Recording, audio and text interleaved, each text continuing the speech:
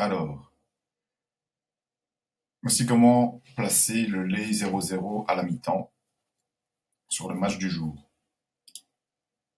Donc, en arrivant sur Orbit Exchange, je cherche mon match en tapant le nom d'une des deux équipes, Londrina. Le match apparaît ici contre Atletico Go. Je sélectionne tous les marchés. Voilà, les marchés vont se déployer progressivement. Ici sur la gauche, je cherche score à la mi-temps, half-time score. Et là, je vais placer un lait 0-0. Donc le lait, ce sont les cases roses.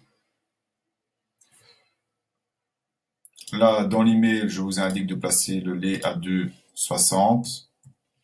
Boum, boum, comme ceci.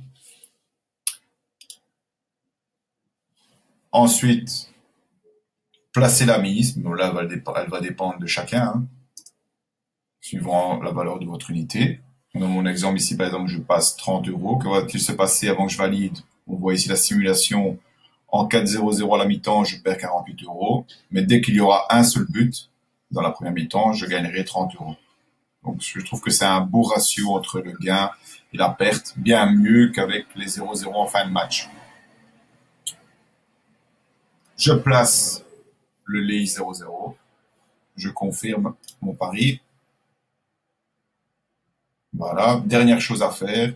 Vous voyez que pour l'instant, on s'est placé un lait à 2,84. Moi, je l'ai placé à 2,60, donc plus bas. C'est-à-dire qu'il n'est pas encore accepté. Donc, il est en statut unmatched, comme on voit ici.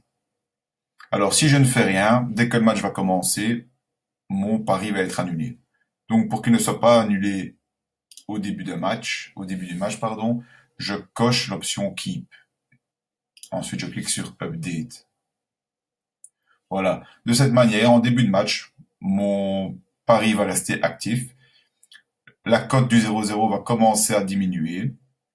Et dès qu'elle arrivera aux alentours des 2,60 au niveau du lait ici, eh bien, mon pari va être pris en compte. S'il y a un but avant que mon pari soit pris, ben, c'est pas grave, ma mise est remboursée. S'il y a un but après que mon pari soit validé, je gagne 30 euros. S'il n'y a pas de but du tout dans le premier temps, je perdrai 48 euros. Voilà, j'espère que cette petite vidéo vous a aidé. À bientôt.